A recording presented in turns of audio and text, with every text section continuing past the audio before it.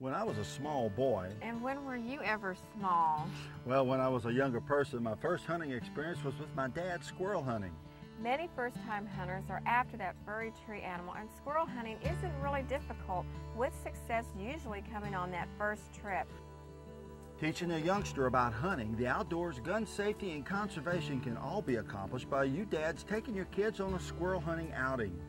Now, dads, if you want to take your son or daughter on a squirrel hunt, but you feel you're not up to speed on the sport, we'll give you a few pointers. First, just about any patch of trees will hold a mess of squirrels.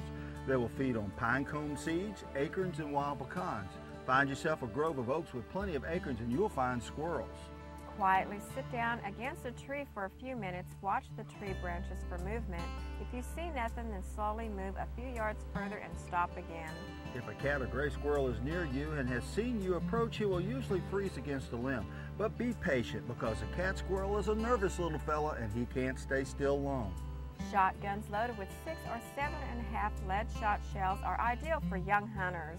Your best times are usually early morning or late in the evening and squirrels feed both in the trees and on the ground. Squirrels are everywhere and easy to find if you will remember just two things. You must be very quiet and still. When you do have to move, do it slowly and again be very silent. With your outdoor report, I'm Susan. And I'm Maurice.